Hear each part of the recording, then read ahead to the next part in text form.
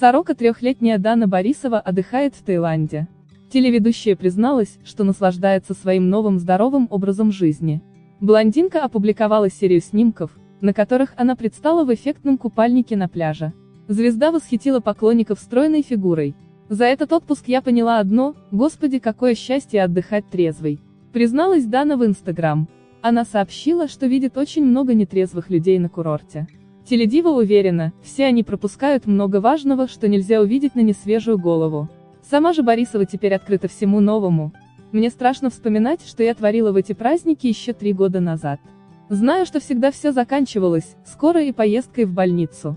А там я так хотела выпить, что однажды выпила духи, рассказала блондинка. Дана Борисова призналась, что на отдыхе подцепила подозрительную подружку.